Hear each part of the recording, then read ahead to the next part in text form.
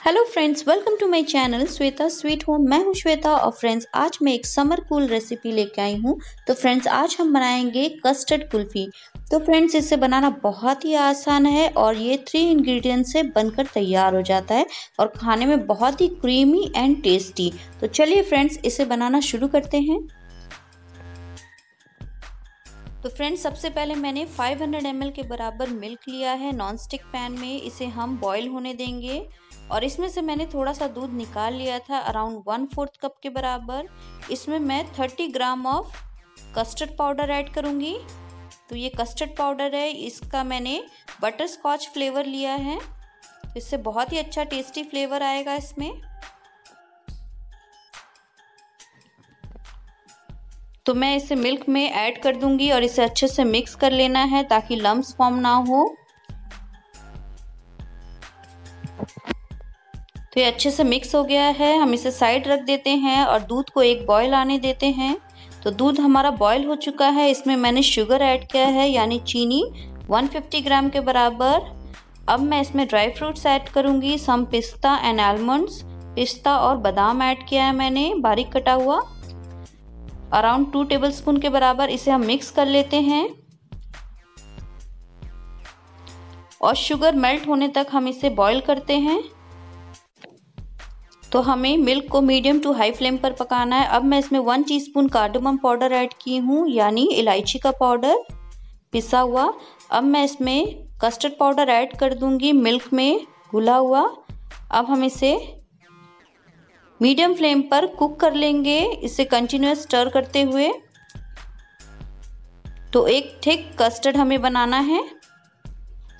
अब फ्लेम को मैं ऑफ़ कर देती हूँ और इसे कंटिन्यूस चला लेते हैं। तो फ्लेम मैंने ऑफ़ कर दिया और इसे अच्छे से विस्क कर लेते हैं और इसे हम ठंडा होने के लिए रख देंगे। अब मैंने एक बोल में आइस रखा है और उसमें पानी ऐड किया है और एक वेसल लिया है, वो भी चिल्ड होना चाहिए तो इसे मैंने ऑलरेडी फ्रीज़र में रख दिया था चिल होने के लिए। जब भी हम क्रीम को बीट करेंगे तो हमारा वेसल बिल्कुल ठंडा होना चाहिए चिल अब मैं इसमें अमूल फ्रेश क्रीम ऐड करूँगी। और हम नीचे में भी आइस रखते हैं ताकि हमारा जो क्रीम बने वो बहुत ही अच्छा सॉफ्ट एंड फ्लफ़ी बने।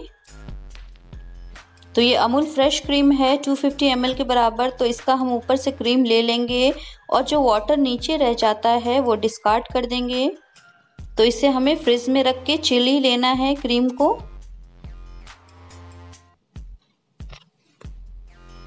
तो आप देख सकते हैं, नीचे का जो वाटर है वो मैं रिमूव कर देती हूँ। तो ऊपर का क्रीम हमने ले लिया है, जो थिक क्रीम है। अब हम इसे बीट करेंगे स्लो टू मीडियम फिर हाई करते हुए ब्लेंडर से। तो अराउंड इसे 10 मिनट्स के लिए हमें बीट करना है till it become fluffy and light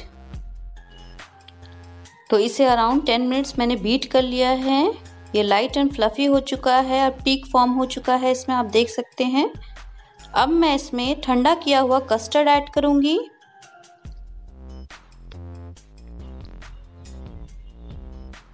तो ये मैंने सारा कस्टर्ड डाल लिया है इसमें। अब मैं इसे बीट करूँगी around three to four minutes के लिए। अब मैं इसमें सैफरन ऐड करूँगी, यानी केसर भिगोया हुआ। आप चाहे तो इसमें येलो फ़ूड कलर भी ऐड कर सकते हैं तो इससे बहुत अच्छा कलर आता है। अब मैं इसे दोबारा दो मिनट के लिए और बीट करूँगी।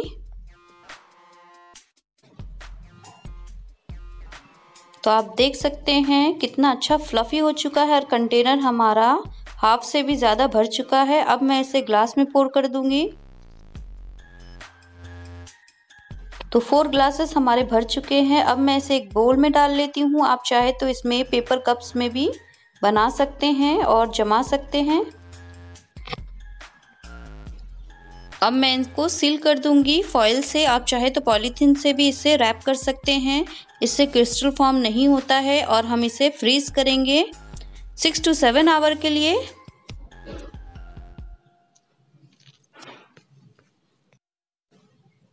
अब मैं सारे कट्स लगा लेती हूँ फॉइल में ताकि हम स्टिक डाल सके इसे। तो इस तरह से हमें स्टिक सेंटर पे डाल लेना है। तो चारों ग्लासेस में मैंने लगा दिया है।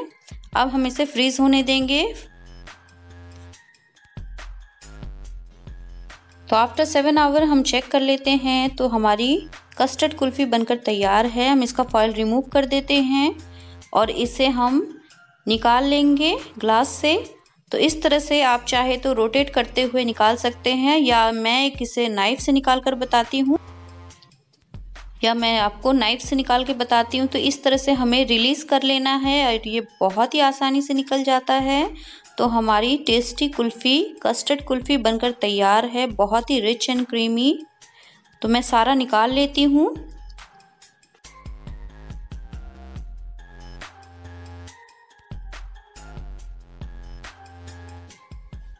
अब मैं इन सब के ऊपर पिस्ता एंड आलमंड ऐड करूँगी। बारीक कटा हुआ। फॉर गार्निश तो फ्रेंड्स हमारी यमी कुल्फ़ी बनकर तैयार है, बहुत ही फ्यू इंग्रेडिएंट्स से। तो फ्रेंड्स अगर आपको मेरी रेसिपी पसंद आए तो मेरे चैनल को like share subscribe plus bell icon को हिट करना मत भूलिएगा, ताकि मेरा लेटेस्ट नोटिफिकेशन आपको सबसे पहले मिले। Thanks for watching